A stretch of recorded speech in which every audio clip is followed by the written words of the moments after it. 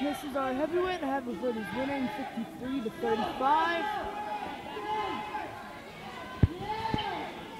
You want to commentate? That was an idiot. Wow, you're done.